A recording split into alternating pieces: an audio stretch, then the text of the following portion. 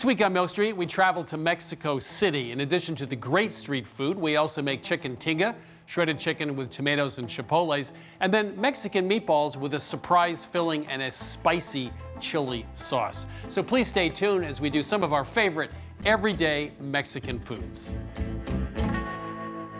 Funding for this series was provided by the following. For 25 years, Consumer Cellular's goal has been to provide wireless service that helps people communicate and connect. We offer a variety of no-contract plans, and our U.S.-based customer service team can help find one that fits you. To learn more, visit consumercellular.tv.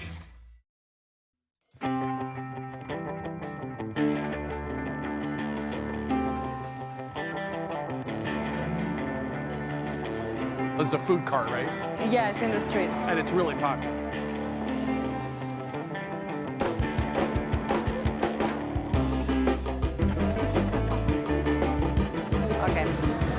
So, Chris, this stall is really representative of Mexico City. And these things that look like ovals are called tlacoyos. And they are stuffed or filled with fava bean. It's a very, very, very traditional one that before the tacos, before all these restaurants in Roma, this was the original food of Mexico City. It's cool, no? Yeah, that's very good. I like going for a vegan option, well, cheese, like a block away from every part of the pig on your taco. Yeah.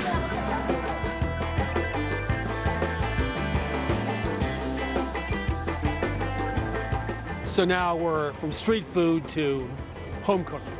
We're going to go to the Colegio Superior de Gastronomía to visit uh, Silvia Kurczyn. She's an anthropologist uh, and she's doing a lot of research on Mexican food and Mexican gastronomy. So we're cooking with her some tinga. Let's cook.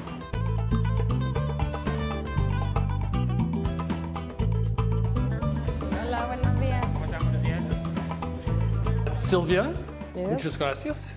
De nada. How do we get started?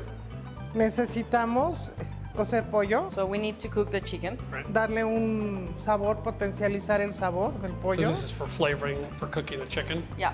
So we're making a quick stock. So Sí.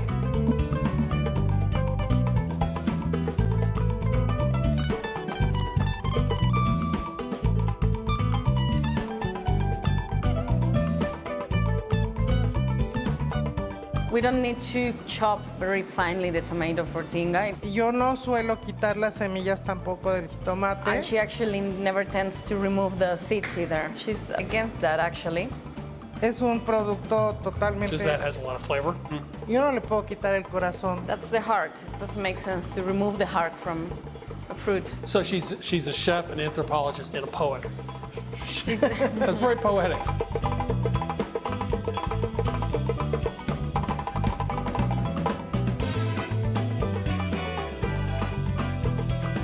Vamos a poner el jitomate.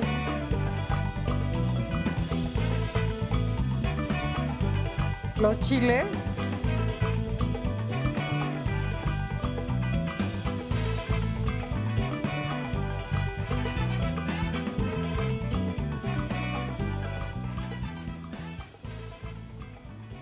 Wow. Your face. You like a lot of food here in Mexico. Sometimes it looks simple, but it's not. It's complex when you taste it. I like the sweet, I like the sour. Have some more? you guys can talk. I want to. Sylvia, thank you so much. Muchas gracias.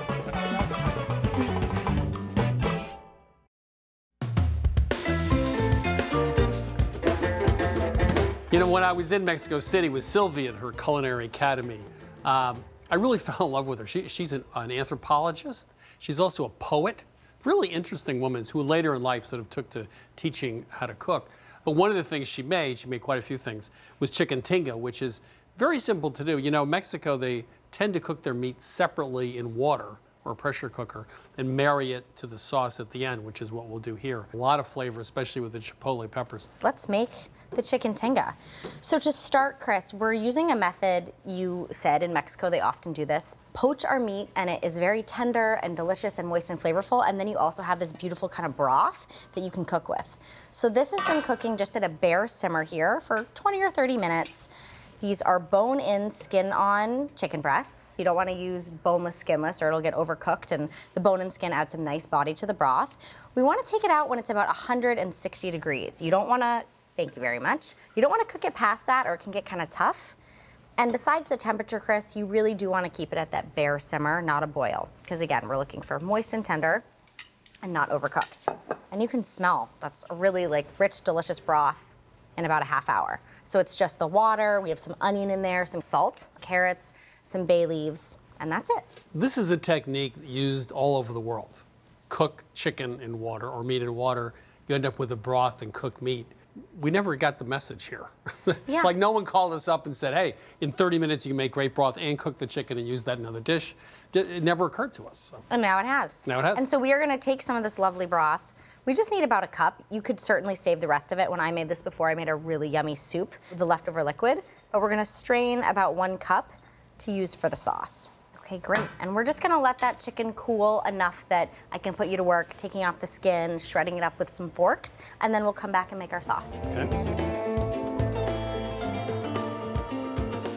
All right, Chris. So we have our onions with some garlic and a little bit of salt. And they've just been cooking here for two or three minutes. We just want them to wilt down a little bit.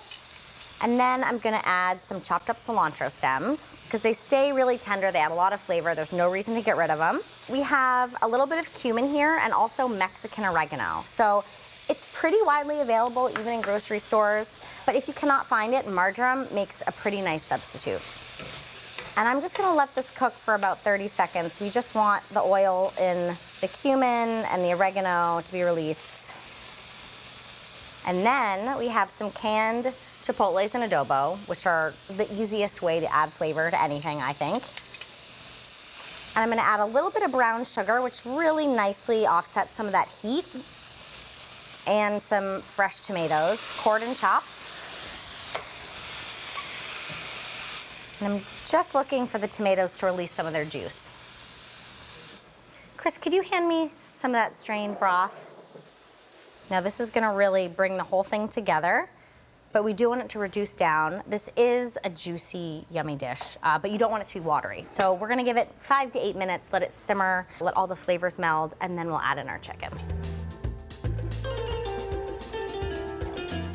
So Chris, you can see just five minutes in the pan, smelling and looking a lot more interesting. So I'm gonna add the chicken. I have to say, it really does smell great. Yes, and I'm pretty excited to turn this into tacos, but we just have to wait one more minute. We want to let the sauce reduce a little bit more and just kind of cling to the chicken, but also this is so moist and delicious from being gently poached that I don't want to overdo it. So don't reduce this too far if you go home and make this dish, um, because you don't want to overcook that chicken. All right, this is looking great. I'm just gonna add a little bit of salt and pepper. And then those cilantro leaves. We use the stems. It's time for the leaves. And now if you wanna hand me those plates, and if you wanna put some tortillas on there. All right, taco. I'm gonna go easy here so that it's not. That, that's a little too easy. So it's not a super messy taco. That's it? You can have like it. seconds and thirds if you'd like. Do you come from a really big family? Is this what they used to do? They used to have 10 kids and they give you this much? Nope, just me and my sister. Okay. No, I like to build small tacos, Chris, because then it's like more acceptable to have three or four of them, or even five. Well, I always overfill it and then they're hard to eat. Yeah. Yeah. Here we are. Happy taco time. Oh, I'm bringing the plate. You're brave. That's pretty good. Mm-hmm. This is such a versatile filling too, Chris. Like, yes, we're having it in tacos, but you could have it with enchiladas. I think it would be great over rice. You know, you could use it a few different ways. So in Mexico City, very often you wouldn't just have one filling. You come over for dinner, there'd be a taco party, they'd have five or six different fillings. It's actually an easy way to cook for a lot of people, right? Yeah. Just have two or three big pots of food. So you're and this one's easy to make. I should have made more. That compliment. That's what I'm saying, Was a yeah. nice way to to saying- lead into where's I've the rest my of the first taco filling. filling.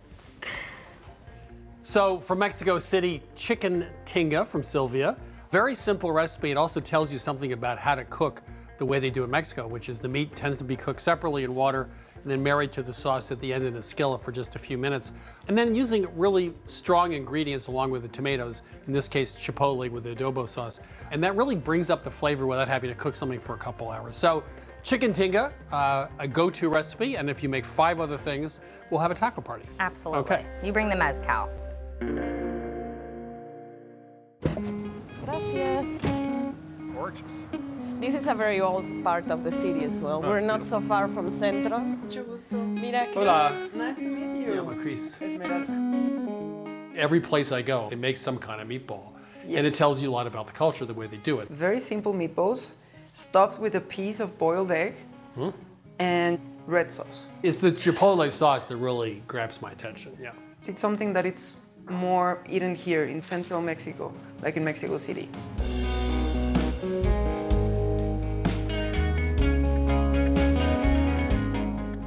This is a very, you know, something you would eat in your grandma's house. They make a salsa, I think th- this is a tomato salsa.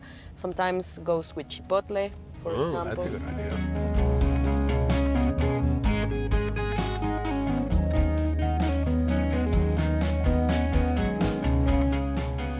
Esmeralda, thank you Thank for you. having us here. How do we get started? I have pork and beef, and I like to use both. I think this is going to be not something very rare for you. What makes it Mexican, it's more the sauce and the chipotle. And we're using chipotle meco because we have two different kinds of chipotle. Lots of people don't call it chipotle, it's like morita or chipotle. So these are my versions of jalapeno. This is the green jalapeno. Riper jalapeno, this is a red jalapeno, and orange is just different degrees of uh, ripeness. And then when you dry it and you smoke it, you get morita. You want to smell it? And when you smoke it more, you get chipotle. So that's the difference between morita and chipotle is how much it's smoked. I didn't know that. Oh, that's much smokier. Yeah. And in here, you can use rice or you can use chicharron. Oh, you put chicharron in it? You can put chicharron in it. That's actually That's quite different. recipe. Oh, I I know. like that, yeah. It's like a memory thing, you know. When I was maybe eight, I can remember eating my grandmother's uh, meatballs with the rice in it, and it's just something. I don't know. It's something that comes with the Mexican childhood memories. And these are my spices. It's only uh, clove, cumin, and cinnamon. I don't like to buy them powdered. You can grind it in the in the blender, but it's not the same. My cooking mentor, Monica Patiño, gave me a class of how to grind in the molcajete because it, it looks very simple, but No, but it's not simple. it's not simple. So could you give me the class now? The short version is that everything is in the wrist. Wrist. Everything is in the wrist. So it's not like holding this thing and grinding. You uh-huh. have to actually hold it lightly. Huh. So you basically move your wrist more than the whole hand. So it's not like whisking, it's looser. Yes, it's like Yeah. Japanese matcha making. Yeah. Let's make half with rice and half with chicharron.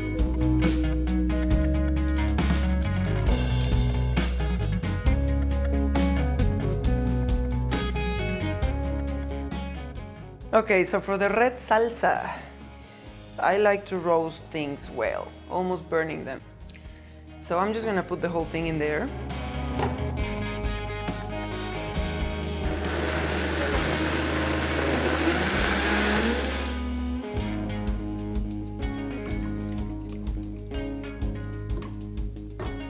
You can help me out with the rice meatballs. Would you like that? Sure.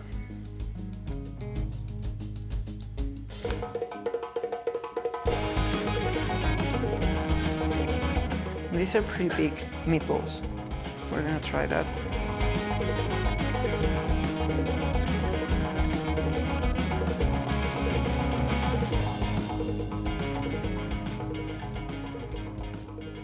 Okay. So I am going to burn these leaves. This is a native Mexican avocado tree leaf, but mm-hmm. it's also like a little bit of a performance. So this gives it a very ashy, incensey flavor. You love burning stuff. I love burning stuff.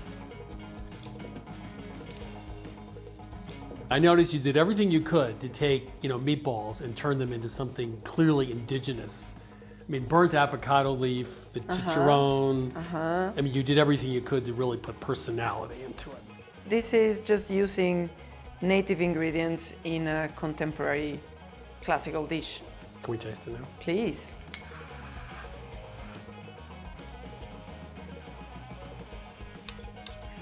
Can you see the egg inside? Mm, let's see the egg.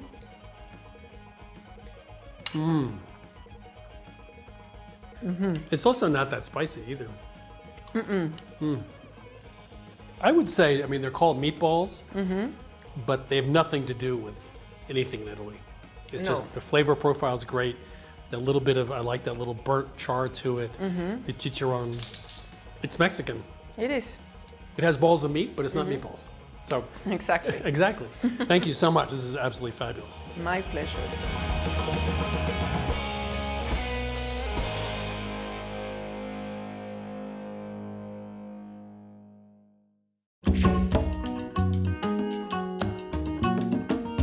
When I was in Mexico City, we cooked with lots of folks, and one of them was Esmeralda, who's a wonderful cook. And she made Mexican meatballs, which is a classic. The meatballs themselves, one was with rice, one was with chicharrones. They were good, but it was the sauce that was really great. And it had just this great depth of flavor. It was really interesting. You're right, Chris. This is really all about that salsa roja. It starts with some charred vegetables, and that's what I have going here. We have some plum tomatoes, some onion, a little bit of garlic, and we're really trying to get some char on it. I know in Mexico City, they probably did this over an open flame, right? We're doing it in a skillet, and we're actually getting a fair amount of char here. And this is gonna be the base of the sauce. That's where a lot of this flavor is gonna come from. Actually, it was a very modern apartment and a modern kitchen, so there was no open flame. But they, you know, they could use a comal on top of Right, stove. exactly. I'm gonna transfer them into the blender. You're gonna love this, Chris, because this is a very flavorful but very simple sauce. So I'm just gonna blend this until it's smooth. It'll take probably less than a minute.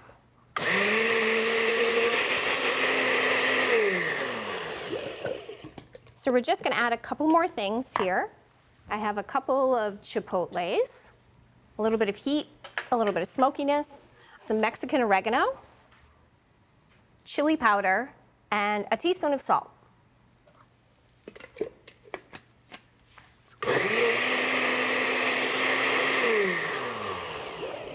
All right, that's it.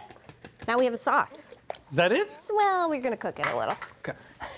But I'm gonna take a little bit of this and use it in our meatballs because we've got this really flavorful liquid. We're gonna use that to add a lot of flavor to those as well. So I'm just gonna add this to this bowl of panko breadcrumbs. We're big fans of panade in our meatballs. It adds a lot of tenderness and really a lot of moisture in there. But you do wanna let this sit for about five minutes. This liquid is gonna soften these breadcrumbs and make our meatballs really nice and tender. All right, and then the rest of the puree goes in the skillet. You know, so many recipes in Mexico started with charring vegetables, throwing them in a blender with a few other ingredients, and then putting them in a skillet to warm it up. It's 10 minute sauce. So we have a softened panade here. This was the way we kind of improved a little bit on the meatball that you had in Mexico. It's just a little bit more tender. I'm gonna add an egg yolk in here, little bit of salt. This is a teaspoon and a half. You do kind of wanna measure your salt and pepper when you're making a meatball because you don't really get a chance to taste it, it's raw. Hopefully not, yes. and three quarters of a teaspoon of pepper. And then we like the combination of ground pork and beef for flavor and for texture. And then it's always best to mix meatballs with your hands. So this is all set. If you would grab our sheet tray, we're just gonna portion this into 12 portions. They're about a quarter cup. Put them on the sheet. Wanna help? Portioning, Yeah, it saves Sure. time. Lynn likes to do things together. You're very, you're very like, hey, we're doing this together. I just don't want you to be bored. Oh, that's true. So we're done. Just kidding. No, we have to actually add a special secret surprise inside of our meatball. Did you have it this way in Mexico City? Yes, we had hard boiled eggs uh, inside. It's like a little secret surprise in there. So you just want to flatten the meat, add a quarter of an egg that's been hard cooked. I like to do it almost like a dumpling and seal it in there. Then smush it. and then make it a ball. Okay. If it gets a little sticky, you can wet your hands with some water. Okay. So we should go wash our hands. And I'm gonna pop these in the fridge for about 10 minutes. They just need to firm up. And then we'll come back and work on the sauce.